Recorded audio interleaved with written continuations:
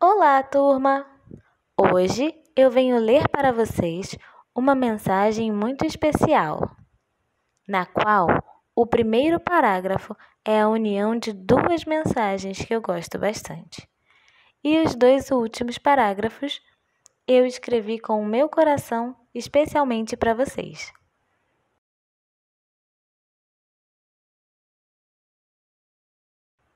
O gosto pela aprendizagem é a sua melhor ferramenta para evoluir. Por essa razão, estude com a firme certeza de que tudo o que requer esforço e disciplina resulta na felicidade de grandes conquistas. Por fim, seja como um limão, importante na preparação de deliciosas refeições doces ou salgadas a ponto de que até quem não gosta de limão, em diversas ocasiões o aprecia, sendo cheio de benefícios para a saúde.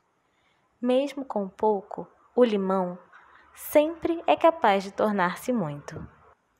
A maior lição do limão é que, quando sozinho, ele não parece grande coisa e até desagrada alguns, mas basta uni-lo a um único ingrediente e ele já se torna incrível.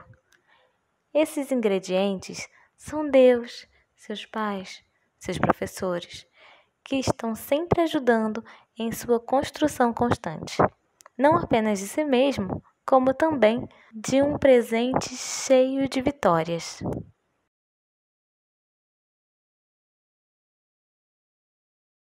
Sou grata a Deus por mais um ano que passamos juntos nessa caminhada de aprendizagem mútua.